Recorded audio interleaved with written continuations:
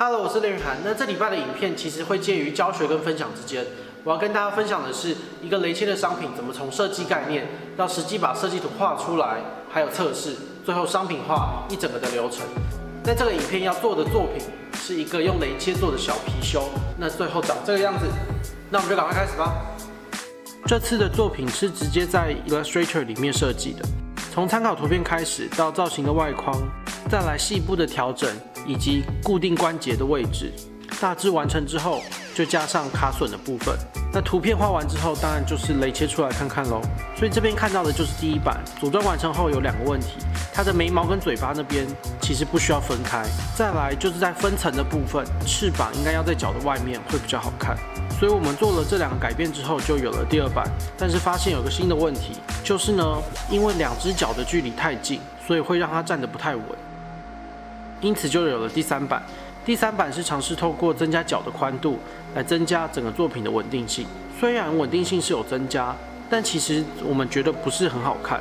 所以后来就有了第四版，是透过在身体跟脚之间垫一片木板来增加它的厚度，效果其实就还不错。但是呢，只要转到比较侧面或是上面看的时候，就会发现垫那片木板会让距离有一点太远，感觉有点怪怪的。所以这个之后又做了一次改变，但是其实在这个第四版测试的时候，我们就已经让它固定到一个背板上面。但是这些版本的连接点其实选的都不好，在产品的外观上会看得非常明显。所以这个之后也会再做相对应的修改。那再来的第五版其实就已经很接近最后的成品了，所以也就顺便来分享一下整个制作的流程。首先当然是贴上遮蔽胶，想更了解遮蔽胶的使用，可以参考我们上礼拜发的影片。再来就拿去雷切。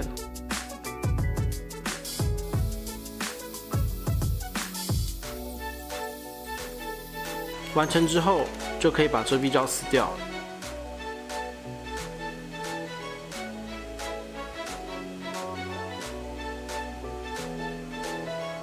通常我们自己在做雷切作品的时候，都会拿原色的木蜡油当做第一个颜色。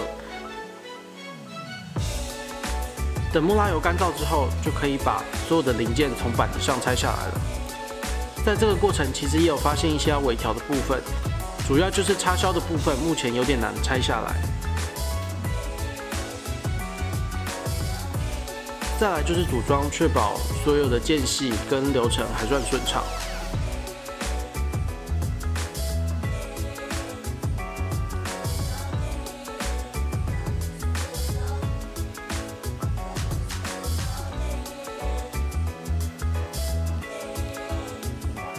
其中脸的地方，因为没有空间放十字的插销，所以这里用的是一个直条的木棒来做固定，其实不是非常理想，这个之后也要做修改。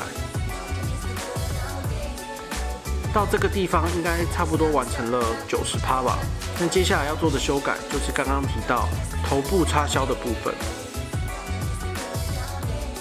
所以我在这里做了局部的构造切割跟测试。最大的调整就是插销的部分改成了这个样子，除了中间比较宽之外，也在两侧加上了一点点凸点，让它卡进去的时候可以卡得更紧。那我们这里就稍微测试一下，这个测试虽然看起来蛮顺利的，但其实那个凸点的厚度，我们测了蛮多次，最后才顺利测出适当的厚度。那这边测试的状况还不错。就已经不会非常容易松脱。再来就是最后一步，帮每一个零件加上编号。这个作品总共有十个不同的零件。那另外这边也分享一下，我们背板在设计的时候，因为外包装要用 OPP 袋来装，也先找到了接近的尺寸，再去调整板子的大小，并且把原本的大圆角改成比较直角的造型，因为这样才不会让 OPP 袋的角落很容易折到，变得不好看。那既然提到 OPP 袋，就来看一下我们这次的包装吧。这次因为没有什么太多其他的零件，所以我们尽量把包装简化，所以只有一片涂好木蜡油的木板，以及一张简单的说明书。最后就是 OPP 袋，我们这边用的是九乘以十七公分的 OPP 袋。那我们板子的大小就缩小一点，所以是八点五公分乘以十六点五公分，装进去配合的还蛮刚好的，也还有空间可以把说明书塞入。那最后就把 OPP 带粘起来，这样就完成啦。这样原则上就已经是设计完这个作品了。但是当然，一个作品会需要不同的颜色，所以除了原色之外，我们这里还做了其他颜色的测试。首先我们测的是花梨木，因为这个作品配合年节，所以应该要有一些偏红色的色调。所以这边就是花梨木色的成品。另外我们还测试了其他三四种颜色之后，最后决定出这四款的颜色：透明原色、花梨木、红色，还有海水蓝。谢谢你看完这个影片。那这个东西真的是我们过去一个礼拜从无到有生出来的作品。那一个礼拜之内，我们应该也会在虾皮跟平会上面上架，所以有兴趣的人可以去那边购买。那这个作品也有入选文化银行办的教春大街市集，所以这个作品可以在一月二十五到二十七年货大街里的小艺城里面看到。那到时候那边应该是一个活动价，所以如果有人去那边的话，可以顺道过去抢个便宜。那到时候有空的话，我应该也会在那几天到现场去拍摄其他有趣的作品，到时候再分享给大家。那这礼拜影片就这样啦，我们下礼拜三见，拜拜。